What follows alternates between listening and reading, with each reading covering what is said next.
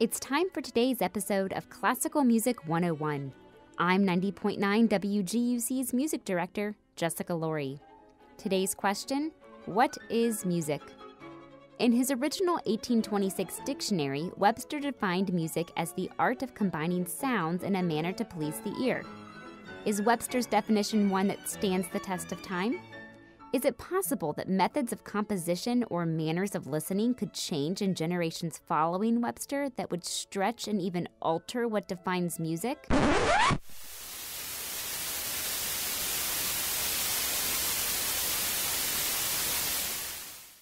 What about that? Music? Or this?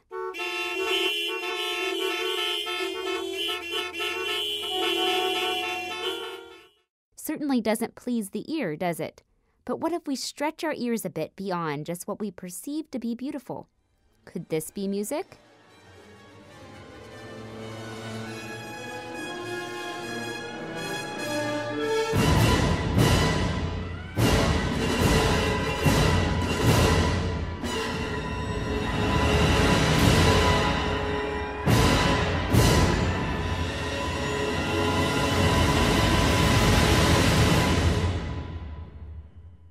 That's from Edgard Varèse's Amérique, a piece that depicts the sounds of New York City.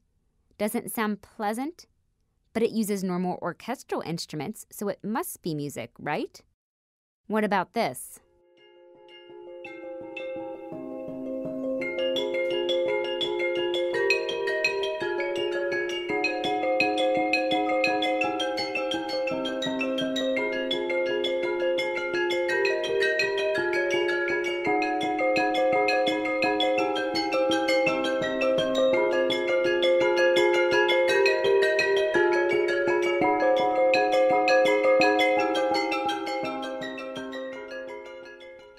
Okay, that's pleasant and fun. But what are those instruments we hear?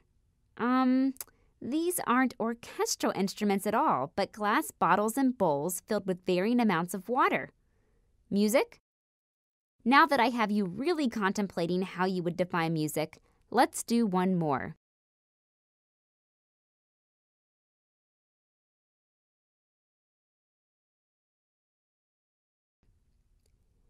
That's right, silence.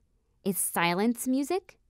John Cage stretched boundaries with his 4 minutes and 33 seconds, forcing his audiences to ponder just what really does define music.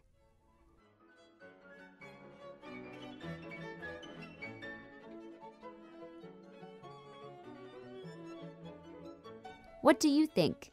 Let's continue the conversation in the comments below and be sure to check back next month for a new edition of Classical Music 101.